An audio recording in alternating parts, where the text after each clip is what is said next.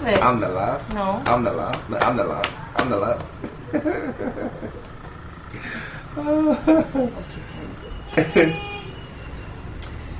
I, I, I've been thinking. Have you, like, felt afraid? You know, afraid to give your life to somebody else? You know, your very existence? No, I don't. Should I? No. Um. Okay. Well, wrong choice of word. Maybe I really mean to say.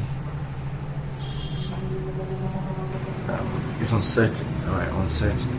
Have you felt uncertain about marriage? I think it has to do with the way you feel about the one you're with. I guess if you love someone and the one loves you in return in the same measure, there's no need to feel uncertain.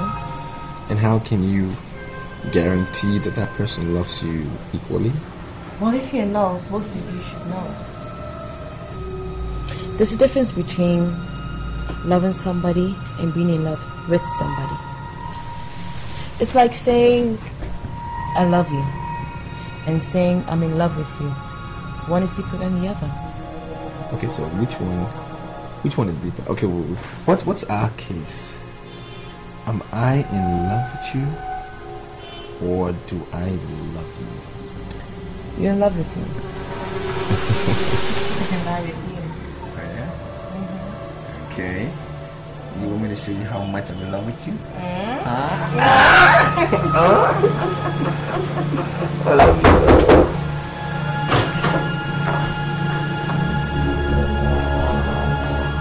Shouldn't both of you be sleeping in separate bedrooms since you are not husband and wife yet?